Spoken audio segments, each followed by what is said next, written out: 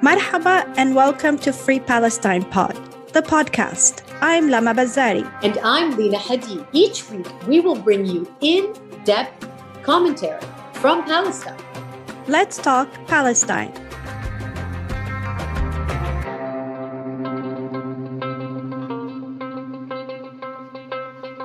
Today on the show, we welcome Palestinian American comedian, speaker, writer, and academic Amer Zahr.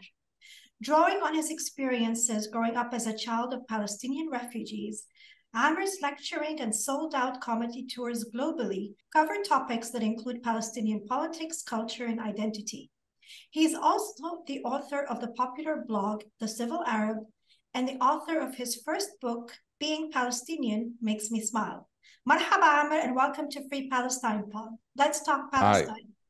Hi. Hi, Salamat. Good to see you guys. Pleasure having you with us today. Your family background, Amer, is a Palestinian infused mixed cocktail. Can you share with us how this shaped you growing up as a Palestinian child of refugees and your sense of humor and also as a lawyer turned comedian? Well, sure. I mean, both my parents were always Palestinian activists. I mean, that's how they met on campuses in the 70s in America. So Palestine brought them together. And uh, my parents are both Palestinian refugees as well from uh, Akka and Nazareth. And my dad is Christian, my mom is Muslim. So I'm kind of like related to everybody in Palestine. And so that's uh, that was an interesting sort of dynamic growing up. But activism was always in their blood. I mean, I remember as a kid, you know, we moved to America when I was three and I remember as as a kid, we they would fill up the car with me and my brother, and they would take us in the 80s to anti-apartheid meetings to fight against South African apartheid. So this kind of fighting for justice and and activism has always been something that I was raised on. And so when I went to uh, high school, I knew I was different. We knew we were different, but I tried to fit in. I tried to be white, and then it kind of it kind of hits you at a certain point. For me, it was the first Gulf War where I ran for class president and somebody wrote on my face, go home terrorist. And then that's when I knew I was like, you know, okay, you kind of have no choice. You know, this this thing follows you, being Arab, being Palestinian. And I got much more active in high school and then in college, and then just kind of haven't really stopped. You know, I'm not really a lawyer turned comedian because I was in law school when I started comedy. And when I graduated, I just started doing comedy. And I said, let me try this comedy thing. And if I fail, I'll go become a lawyer. And so uh, luckily they started paying me to tell uh, jokes. And it's and it's been that life since forever. So I'm more of a uh, a potential lawyer turned comedian. That's what that's what I am. Yeah. Okay, so I'm so excited to meet you, Ahmed. As you know, my mother is a huge, was a huge Ali Arhamha fan of yours. Yeah, yes, and I know yes, that you've been I know that you've been to our house in the capital and uh, she spent time with you and she loved you so very much. And I think one of the reasons that she had so much respect for you was, in fact, because you did, in fact, study law. You do, in fact, have a Juris Doctorate in law. Yet at the same time, you you opted to be a comedian, which is probably maybe I think you're obviously happier. I can tell you from my experience, sounds like you're happier. But how do you use the law to actually help with your profession as a comedian? You know, some of my first comedy tours were called "We're Not White."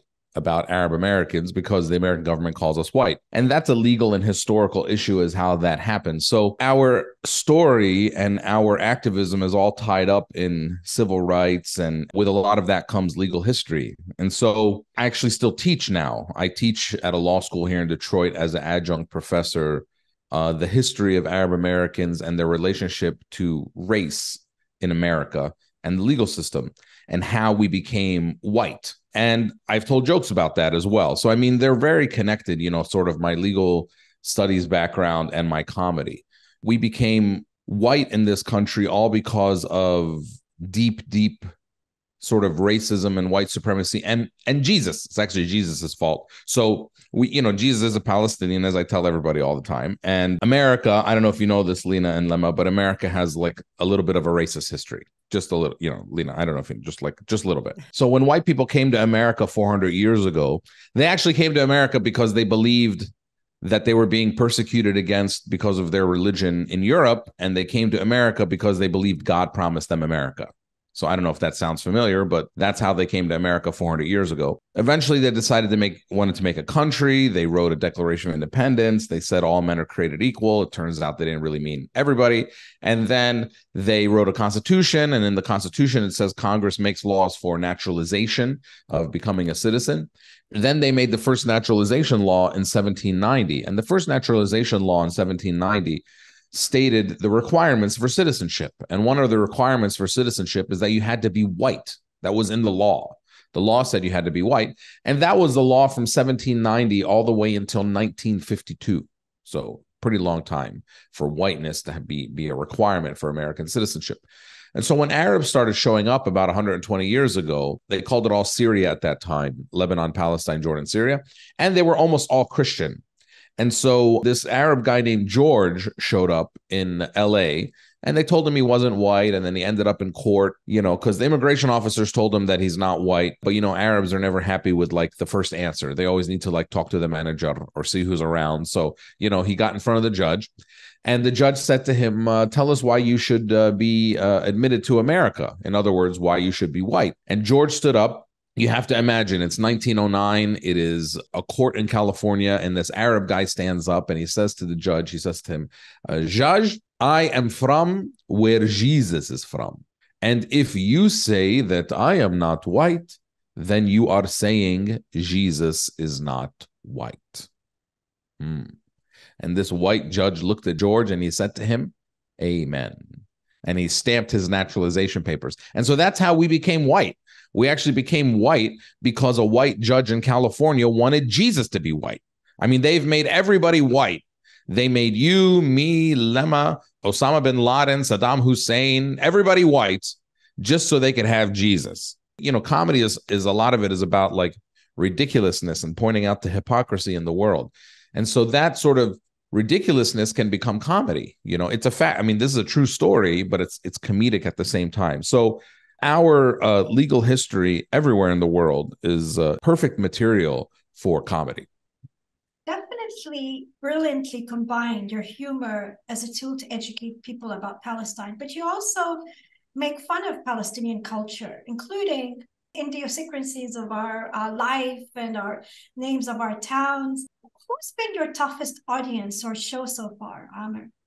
Well, believe it or not, Palestinians are totally okay with uh, laughing at ourselves. I mean, we don't really have a problem with it. Art, uh, as a way to tell our story, has been part of what we've been doing for a really long time. So I've never really gotten pushback from Palestinians on sort of laughing at ourselves and seeing the the the funny aspects of our culture. I I would say pro Israel people are my toughest audience, but they don't really come to my shows. You know, I mean, they follow me online though very closely, and uh, they comment a lot, which is fun. I thank them for the traffic, but uh.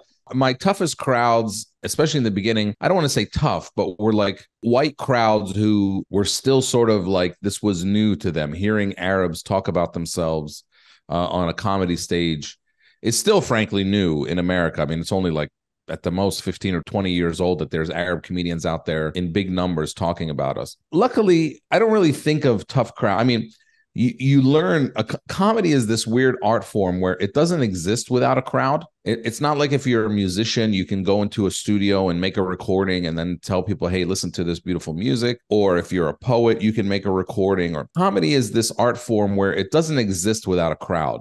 So every crowd to me is different and every crowd is like a different experience and i kind of i kind of like that dynamic. So you know i don't really think in terms of like tough crowds or anything like that. I mean I, i'm lucky enough that i've been doing this for a while that i can sort of read crowds.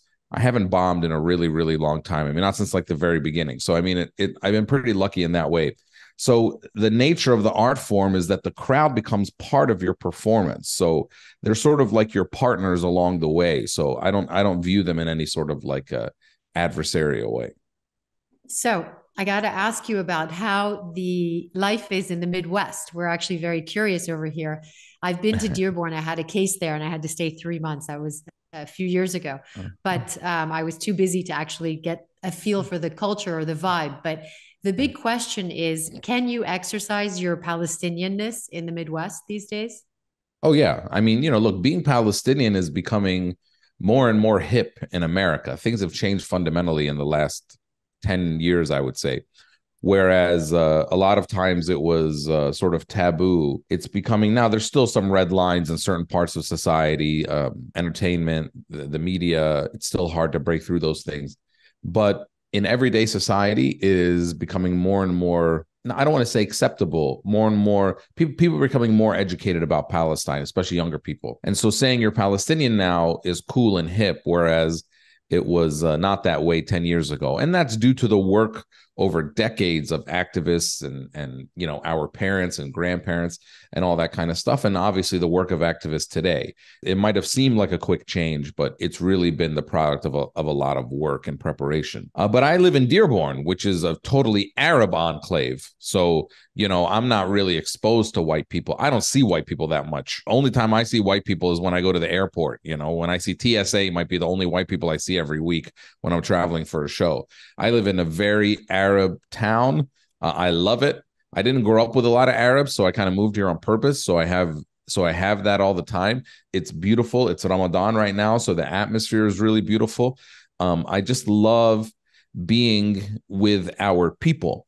You know, it's much different than white culture. I mean, you know, white culture is very much about individualism and you're on your own and you're kind of you have your privacy. And Arab culture is not about that at all. Arab culture is much more about uh, collective community and you have no privacy. Everyone is in everyone's business, but that's a trade off. But also means everyone takes care of each other in a time of crisis. You know, I always explain it like this I say, like, if you're white and you live in a white community and you are broke that week, you're going to be hungry.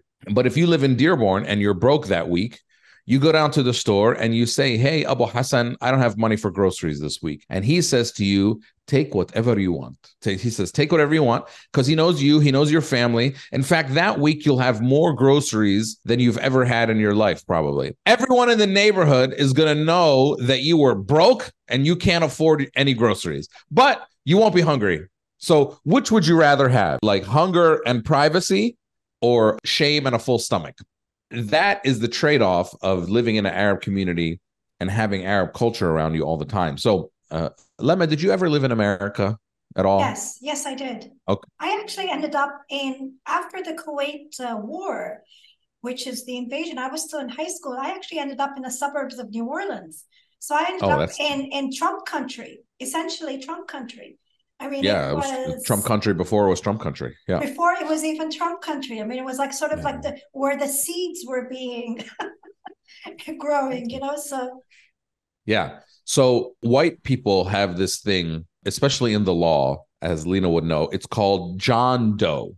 Okay, now John Doe is basically when somebody dies and the police find them and they don't have any identification and no one claims them. No one has reported them missing or anything like that. It's a John Doe. Okay. And and every city has a uh, graveyard where they bury their John Does after 30 days or whatever of nobody claiming them. Now this is a very white thing, you know, like like uh, your family doesn't know where you are, all this kind of stuff. In our culture, if somebody dies within half an hour, I get a notice on my WhatsApp of who they are, their entire family tree, and uh, where their aza, you know, where the wake is going to be that evening. And everyone goes.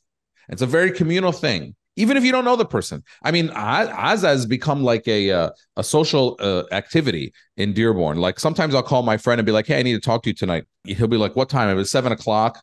Are you busy? Oh, yeah, I have to go to Aza. I'm like, whose Aza is it? He says, Oh, my dad's second cousin. Be like, oh, okay, cool. I'll see you at the Aza because I need to talk to you. You know, like it becomes a social act, it becomes a place where you make an appointment because everyone is in everyone's business and everyone comes together in these times. And that is a beautiful thing about our culture. So, yeah, I live in the Midwest in a very American place, but it's this very Arab thing. And I really love it. And I just love being around our culture all the time. And you also uh, worked closely with Bernie Sanders, Ammo Bernie, as you refer to him, who's been consistently vocal on Palestinian rights. In your opinion, will we see more US elected officials take a bolder stance on Palestine? Uh, yeah, I mean, there was just a, a poll that came out about currently polling the Democratic Party and saying like 49% of Democrats have sympathy for the Palestinians and 38% have sympathy for the Israelis. So that's a big change. So I think you're going to see that play out politically. You know, Bernie was a major force in American presidential politics. And so we supported him because he changed the conversation about Palestine. Bernie wasn't perfect on Palestine. He still had some work to do, but he changed the the conversation fully. And that that was a very important time. And even though he didn't win, the two sort of really deep, serious presidential campaigns changed a lot of Palestinian American activism and made us demand more from our uh, politicians. I mean, look, it, activists in America in 2016, they basically struck a deal with Bernie. They said, look, Bernie, you're pretty liberal, you're progressive. The people who follow you are progressive on this issue of Palestine. If you become more progressive in your rhetoric, we can bring a lot more people into the fold. It was a political calculation. I'm not saying he didn't believe those things, but everything politicians do comes with a political calculation. Uh, Bernie, less than most others, he just says what he thinks, but it's still everything is political. And so we were able to show that if you talk about justice for Palestinians and you talk about Palestinians as equal human beings, that can translate into lots and lots of votes. You know, in 2016, in, in the place where Arabs have the heaviest voting block in Michigan, um, we were the community that pushed Bernie over the top to win the primary against Hillary Clinton in 2016. That became a real thing. Yes, I think other politicians are going to see that. Now, who are going to be the kinds of politicians that fill in sort of Bernie's shoes in presidential politics? Because I don't think he's going to run again. You know, there's a handful out there that might do it, whether it's this cycle or another cycle. I don't know, but I can think of a lot of them right now that might might do it. And so that that is something we have to keep our eyes open for and be ready to be active again on on this issue on a presidential level. How do you feel about all of the anti-boycott laws that are being passed all over the United States at the moment? Um, not allowing basically the criticism, any criticism of the state of Israel and the IHRA definition of anti-Semitism. What is your take on that issue?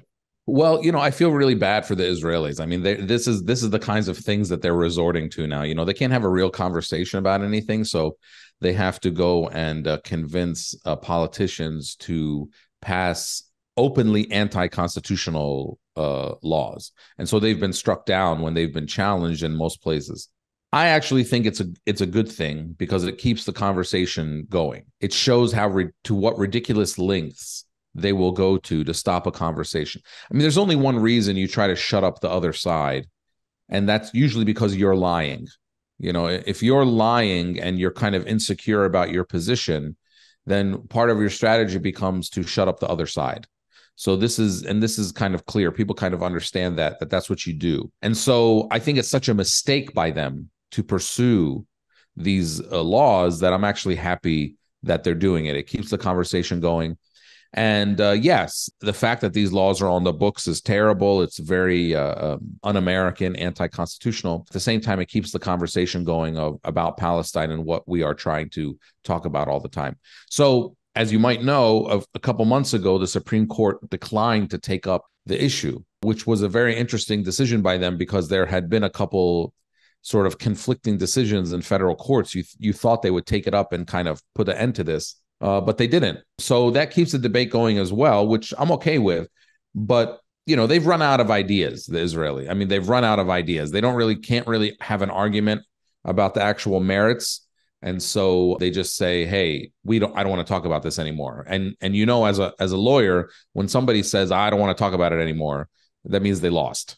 That means that means they don't have any more arguments to make. And so, you know, that's what's going on with all of this advice would you give uh, young activists on uh, US campuses currently on how to tackle, you know, the claims, you know, the ADLs of this world on anti-Semitism and trying to silence them or to push them into inaction? What would be your advice? I always tell people that there is every pro Israel uh, argument can be answered in one of two ways. Uh, either you say that's a lie or you say that doesn't matter. And, you know, because lies and deflection are their only game. And just keep it very simple. So there's no really need to get into, first of all, you don't need to answer directly just because a, a, a pro Israel person asks a question about subject X, it doesn't mean you have to get into subject X with them. Okay. They are trying to deflect and sort of waste time and make the audience uninterested because they don't really want to get into a conversation about everything.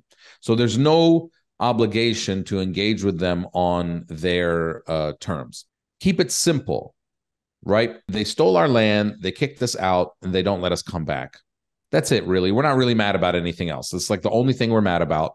Always bring it back to that and tell stories about that and be very clear. And if you want to dismantle their arguments, don't have a back and forth. You know, when they say, you know, here's a good one there was never a Palestinian state.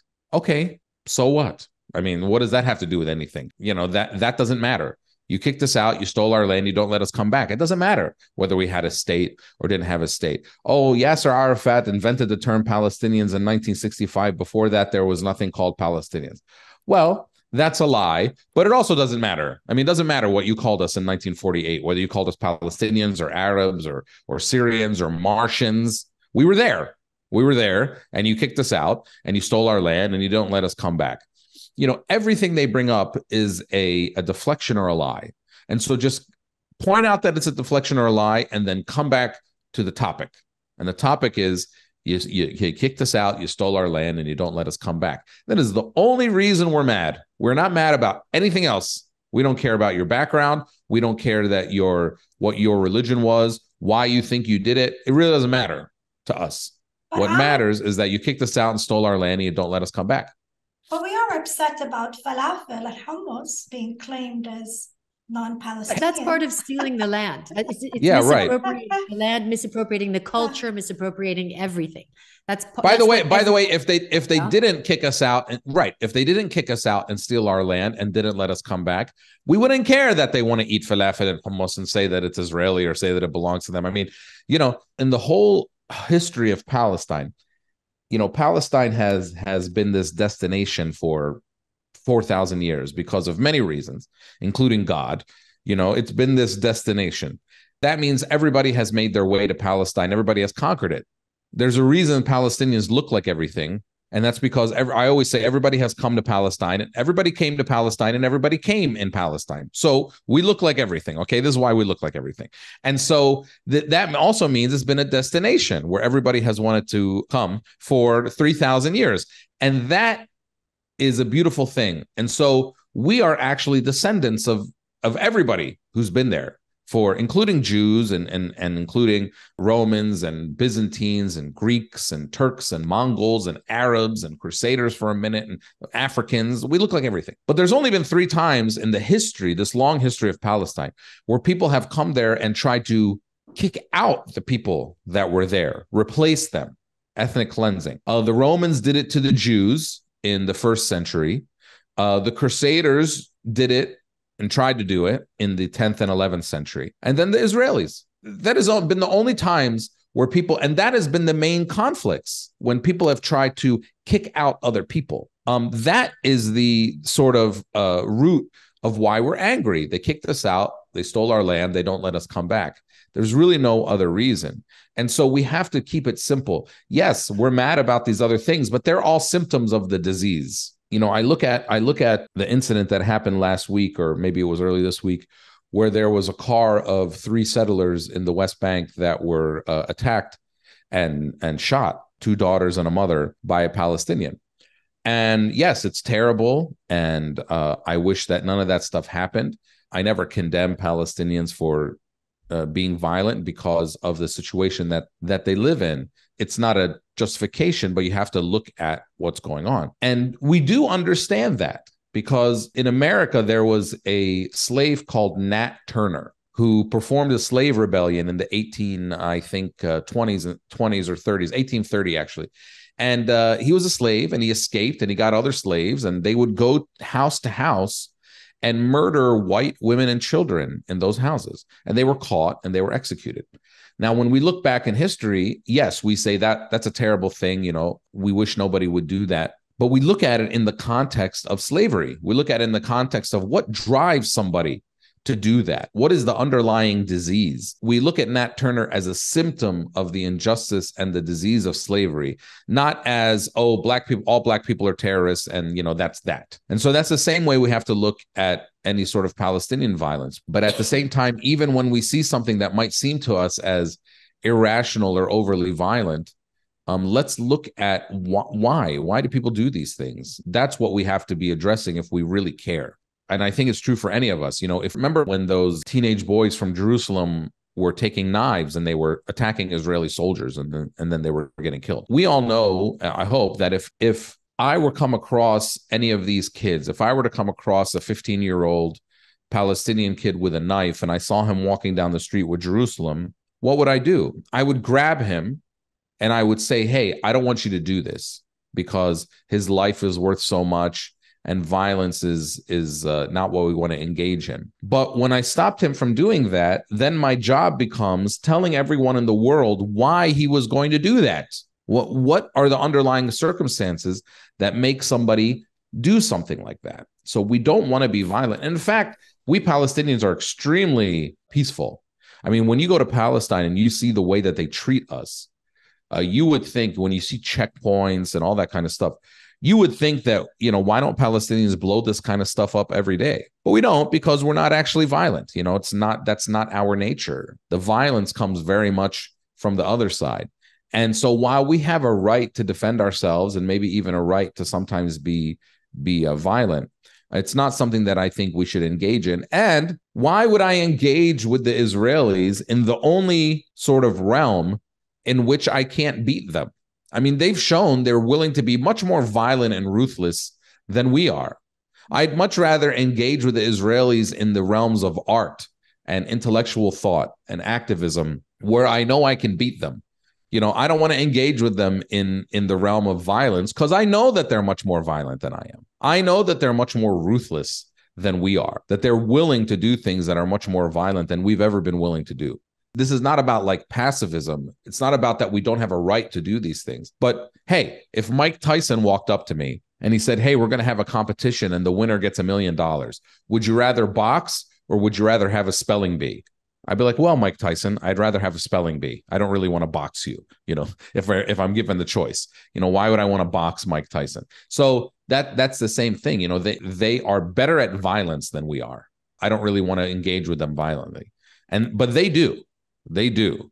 And so that's why we have to be very careful. Let's not fall into their traps. So, one question that I have for you, since you are engaged somehow a, a, bit in US politics and you are quite close to a number of Congress people as well, do you think that Palestine will eventually become a ticket item during the, the presidential elections in the United States? Do you think that this is actually a possibility? Mm-hmm. Well, yeah, I mean Bernie Bernie changed the dynamic, so there's no way in 2024 it doesn't come up. Is going to be something. Now, the real question is how do we as a community deal with it? Do we react to it in the right way? Are we willing to tell politicians no? In other words, you know, do we have to accept the lesser of two evils when it comes to Palestine? Like Biden. I'm not sure Biden was the lesser of two evils when it comes to Palestine. I mean, I kind of like Trump and his craziness and like I always said Trump and Netanyahu, if you give them like five or ten years together, they'll liberate Palestine by accident. You know, they'll just they'll they'll do everything crazy so that uh, the liberation comes much more quickly. And Biden is kind of like a smart Zionist, you know, which I don't really want. I'd rather have a bunch of dumb Zionists running the country. But it is going to be an issue, yes.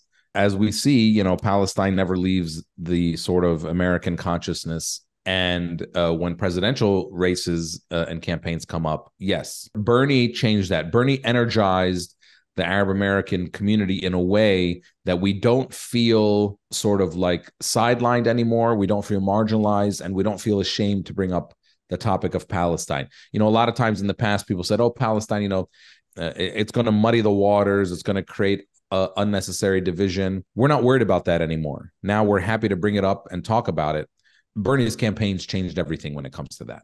I would imagine also that the implication on US taxes, the you know 4 billion plus would also be a good selling point to the Americans, no? Yeah, and in fact in some ways it's a it's a good selling point to sort of the right wingers. I mean, there's a lot of right wing isolationists in America who believe in fiscal conservatism and think that some of this is wasted money. So there's all kinds of angles to bring that up. Yeah, I mean, I talk about it all the time. I mean, they, we still don't, we still have communities. I mean, Flint still doesn't have totally clean water. You know, six Imagine. or seven years after after after their thing, and the federal government could fix that if they didn't this, someone said it, it would take a billion dollars to dig up every pipe and replace every pipe in flint and so i you know i've said before that if you don't give money to israel israel gets 3 billion dollars at least a year if you don't give money to israel for one year you could fix the water in flint three times i mean you could you could mess up twice and only get it right on the third time and that would just be one year of giving money to to Israel. So yeah, we do have to talk about it in terms of that because it's not like we don't have our own problems. It's not like we don't have you know if we had free college and no homelessness and uh, fully insured uh you know people who were fully insured in, in for their health care uh, then you know maybe giving three billion dollars to Israel would be a luxury but it's not a luxury. It's a choice. It's a political choice because we have we have other problems we could give that money to but we choose not to. And so that is an important point to make uh, to americans. Yes and um, I mean, what about this relationship with violence? I mean, we, we have the United States, which, which is today the most uh, expensive army in the world, has the most expensive army. And then we have Israel, which has the most sophisticated army in the world. And we have two countries that are extremely violent in nature. This week alone in the United States, there were multiple killings. And the, where, there was a six year old who shot his teacher, I mean, in the United yeah. States. And the only other environment that this really occurs around the world is actually Israel. So they're both quite violent in in in nature and as far as you know their arms and their defense is concerned. I would think that would be a fantastic selling point to the United States to stop all of this, you know.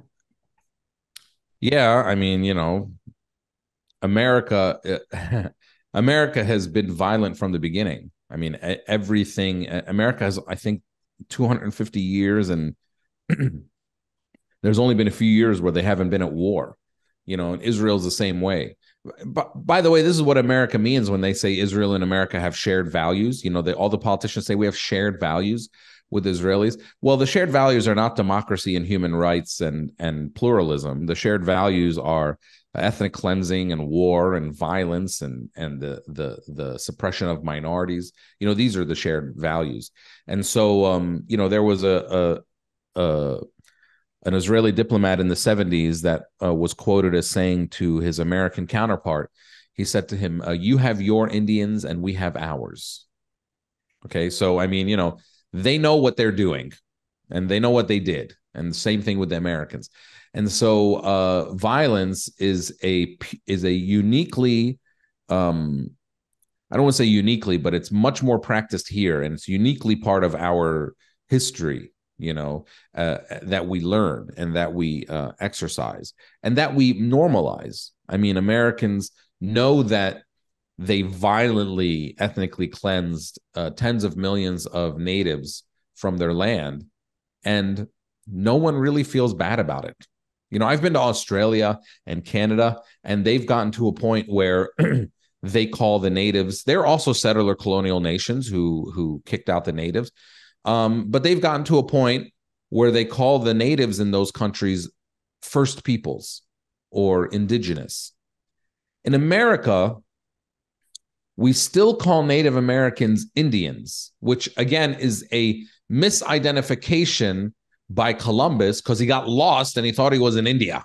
Okay. And yet we still call them Indians. In fact, the bureau that deals with that in the in the federal government is still called the Bureau of Indian Affairs in 2023 because they can't bring themselves to call it indigenous or native or first peoples because if you do that you have to fully confront your violent violent past in dealing with these people. And it'll it'll kill most of your myths that you've been telling about yourself which is um you know we were here first and this is our destiny and all this kind of stuff.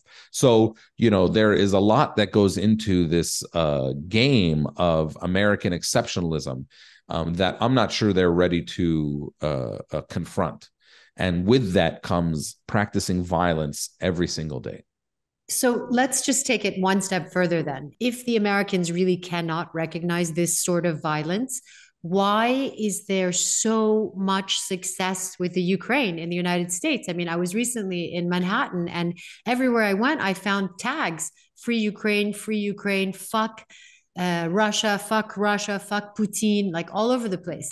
So, why can they get on board with that issue, yet they can't get on board with the Palestinian issue? Right? The Americans aren't as stupid well, as as everyone, you know, perceives well, them to be. Well, first of all, I'm not sure that's true. I'm, I'm pretty sure wow. they are as stupid as everybody perceives them to be. I mean, we have a game show in America called Are You Smarter Than a Fifth Grader that nobody wins. I do think that they might be as stupid as everybody thinks they are.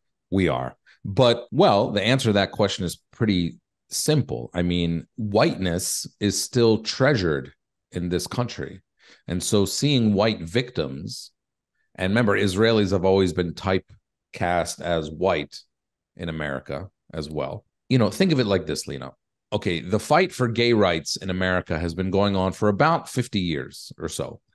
And in 2015, they got what was really the the ultimate victory, which was a Supreme Court saying that marriage is a fundamental right and that you can't be discriminated against because of your sexuality. So gay marriage is legal and a right all throughout America. Okay. They could not have hoped for a better result in America than that. And that took about 40 or 50 years to get to that point. Black people are still, for 400 years, being killed in the street. Nobody's going to jail for it. Latinos have to be told that they don't belong in America, even though half of America used to be Mexico. Okay. You have white people telling uh, Mexicans that they don't belong in places called San Antonio and El Paso and San Diego, places that they named. Okay you have uh, natives still not being given any of the justice that they deserve after 400 years. But this civil rights issue of gay rights got solved to its maximum. I mean, its maximum very quickly. Why? Because what is the face of the gay rights movement in America? And by the way, I'm with their rights being solved. You know, I think it's great.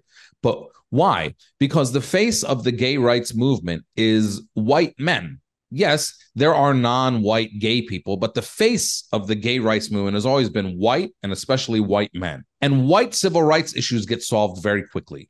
Okay. The, the person who wrote the gay marriage Supreme Court opinion uh, was a, a white Republican. He's a Republican. It wasn't even a Democrat that wrote that white Republicans sympathetic to gay marriage rights? Well, because they have a gay son or a gay nephew or a gay grandchild. They don't have a black son or a Mexican nephew or, or a Native American grandchild. And th- those things don't mean anything to them, but gay rights does. And so these white civil rights issues get solved very quickly. Well, what's Ukraine? It's white people suffering. So it becomes something that is very centralized in America. And Russia is the is the ultimate em- enemy. Uh, but if every gay person in America was black, gay marriage would be like the most illegal thing in America. You would not gay people would not be getting married. If the only people that liked guns in America were Mexican, you'd never be able to buy a gun in America. But since these are white civil rights issues, they they get solved very quickly and they're sacred. That's what's going on with Ukraine. It's very simple. This is why they can so easily get on TV uh, when it first happened and say, you know, it's so shocking that this is happening in a civilized place. This is not Iraq or Afghanistan, those uncivilized places over there, right? That's what this is all about. Um, so when you are making the sort of link between Ukraine and Palestine, you always have to point out that hypocrisy. You know, you have to say very clearly, just imagine that these Palestinians have blonde hair and blue eyes, then maybe you ever watch this movie called A Time to Kill? In a, in it was a, a 1996 movie with Matthew McConaughey and yes. Samuel L. Jackson and Kevin Spacey. It's about a a, a black man who kills his uh, daughter's rapist, and he's on trial for that. And when M- Matthew McConaughey is giving the final closing argument, he's talking about what everybody knows is the story of this young black girl who was raped by these guys. And as he's telling the story, of course, everybody knows that she's black. And then he ends the story by saying, "Well, now imagine that she's white. So now, how now how would you feel about what happened to her?" Right. And so it's the same kind of thing with Palestinians. You know, if it race is at the center of every analysis in American society. Race is never not part of the analysis when you're talking about any issue in American society. And the same goes with Ukraine and Palestine. Well said. Thank you so much, Amer. It's been a pleasure having you with us today. Thank you. And let me say to you what I always say when I'm in a room full of Palestinians, and that we always have to say to each other. We have to never be ashamed to say it, which is that I love you both and I'm proud of you both. And keep doing what you're doing. And keep inspiring Thank us. Thank and we love so you much. so much. Yes. Thanks, ladies. See you very soon, inshallah. Thank you for joining us this week on Free Palestine Pod. Subscribe, like, rate, and review wherever you listen to podcasts. And follow us on Instagram, YouTube, and Twitter. And be sure to come back next week for a new episode of Free Palestine Pod. Let's talk Palestine.